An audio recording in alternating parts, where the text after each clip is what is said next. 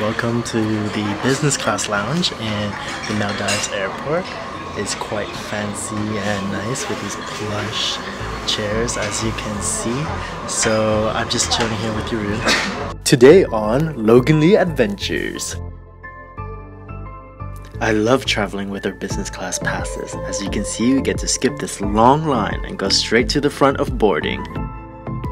The Maldives was a paradise, but now it's time to head onwards to a nearby teardrop shaped country called Sri Lanka. They say catch flights, not feelings, but I caught flights with this guy who gave me the feelings. Alright. Got our Uber and now heading to our accommodation. Hey Sri Lanka. Oh, Colombo, where glitzy hotels rub shoulders with old colonial architecture, calm Buddhist temples, and we're here to explore the whole capital. Me and Jeroen are just exploring the city, and we're in this very beautiful park, smack middle in Colombo 7, which is the neighborhood that we're staying in. Quite a posh neighborhood, but this park is public and it's a stunning park. It's like so green, so clean, and there's people sitting in the trees taking naps. You can hear music, live music playing in the background as well. It's just so lovely. This park is actually right in front of, I think it's the town hall or the city hall. It's very beautiful in the colonial style that is created. Oh, look at all the tuk-tuks too. Colombo is just unexpectedly so nice. I don't know what our expectations of it was before, but we had some friends that were like, oh, like, I just stayed a night in Colombo and left, or uh, I didn't really like it because it's a huge city, but it's a very lovely, beautiful city. It's not that chaotic or hectic at all. How many people actually live in the city? 650,000 according That's to Wikipedia. Tiny for like Sri Lanka's biggest city, but we're gonna be exploring and I'll show you guys around. So yeah, I definitely want to see the movie. Let's go.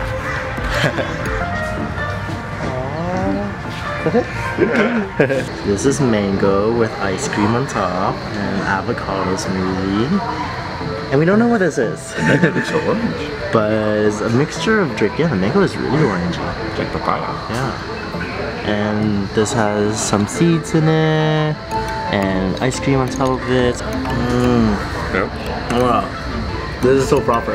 It, it tastes like the Vietnamese avocado shake that we had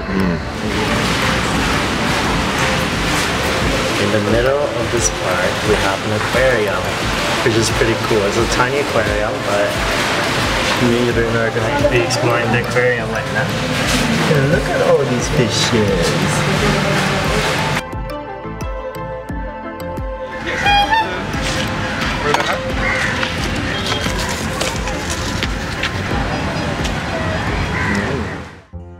Big or small, every temple is home to legends of the past, intrinsic artistic details and beautiful carvings that represents the ancient traditions and customs that still subsist in the present day.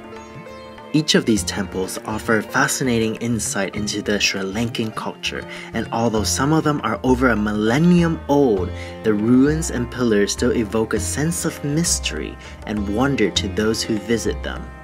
The 120 year old Gangaramaya is not the typical Sri Lankan temple.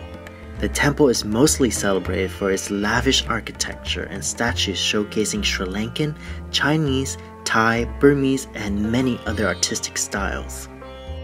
Hey guys, we just made it to the second temple, and this temple is built on top of a lake. Travel literally forces us out of our routines, and in doing so, gives us the freedom to see things with fresh eyes.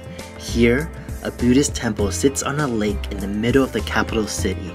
The temple is mainly used for meditation and rest rather than worship. Of course, it's still a beautiful place for prayers. Now we're crossing over and exploring Beira Lake. I hope from watching our videos you'll get curious about these places that we go to and want to explore them for yourself as well. We're in Colombo 11, which looks like a local shopping district with an open market. And it's definitely the hectic Sri Lanka that I pictured.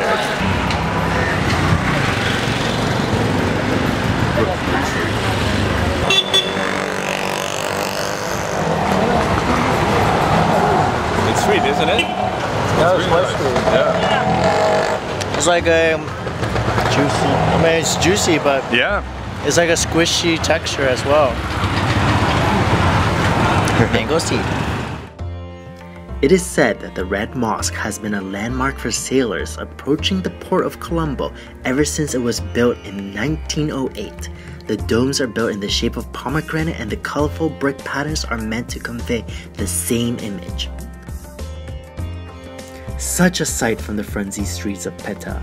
Yuru and I have to take off our shoes and wash our feet since we are in a mosque. So, uh, this really cool mosque. I just have to whisper because prayers are going on.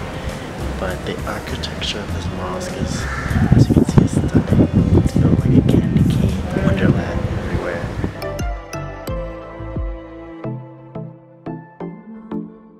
Our tuk-tuk driver dropped us off at the National Museum. So we're gonna explore this cool white building, this old colonial style, style building in the middle, literally in the heart of Sri Lanka, the heart of Colombo at least. This museum actually has 12 galleries going from prehistoric Sri Lanka all the way to modern day Sri Lanka. And it's housed in this amazing, just stunning building. Yeah, it's kind of like a maze. It's quite, fun and you walk through the whole building up and down and all around. And I think we're on the sixth or seventh gallery right now. Colombo is the gateway to the rest of Sri Lanka, so hit subscribe for our next video on more of the capital leading into our exploration of the rest of Old Ceylon. If you enjoy this, give it a like and leave a comment. I love replying to your messages. Catch you on the next episode of Logan Ly Adventures.